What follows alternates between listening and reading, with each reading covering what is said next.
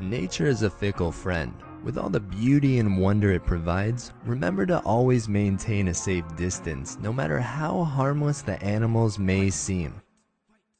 Some might not be aware that a giraffe can reach speeds of almost 40 miles per hour, or that it's capable of delivering a fatal front kick.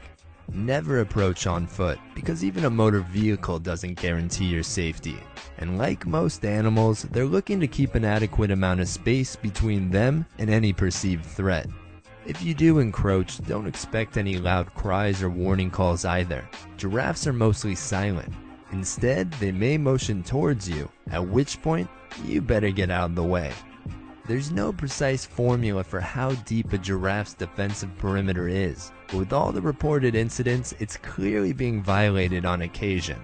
If you want to safely enjoy the sights of these towering giants, best to use a respected guide and follow their expert judgment. Once again, thanks for tuning in and giddy up.